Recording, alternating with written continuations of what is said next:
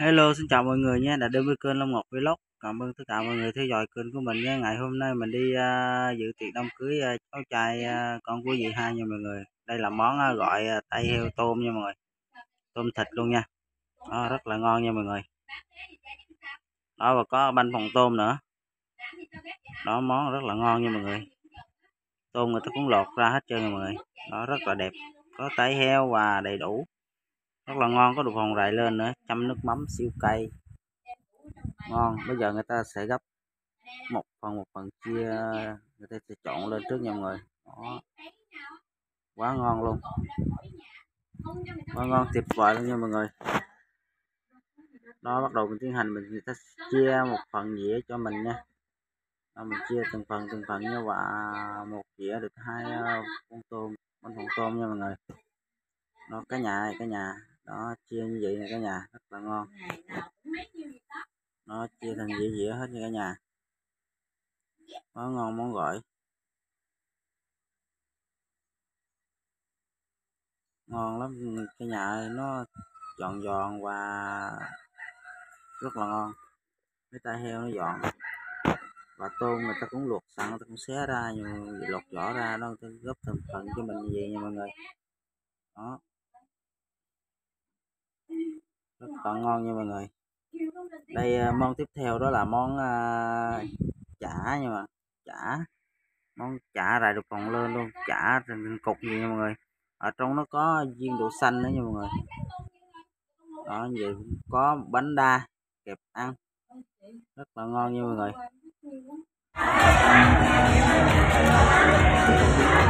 tôm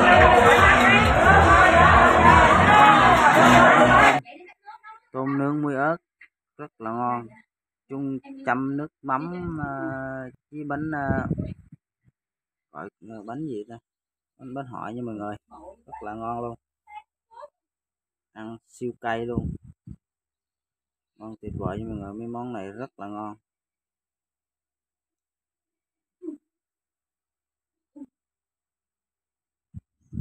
Đó một dĩa được mười mấy con như mọi người. Mười mấy hai chục con vậy đó.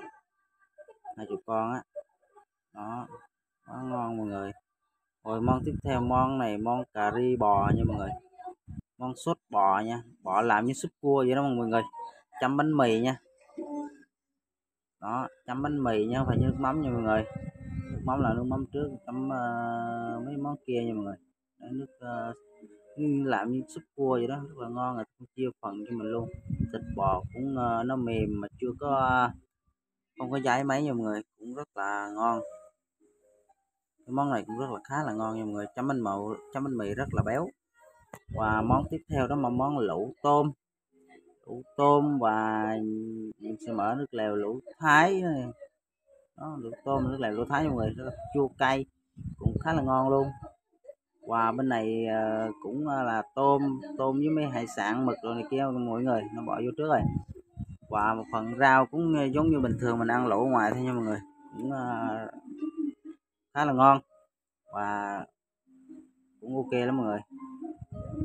Cả nhà thấy video này hay, cho mình một like và chia sẻ kênh, đăng ký kênh chia sẻ mọi người cùng xem nha mọi người. Để có mình là có động lực, mình sẽ làm clip tiếp theo hay hay hơn cho mọi người cùng xem nhé.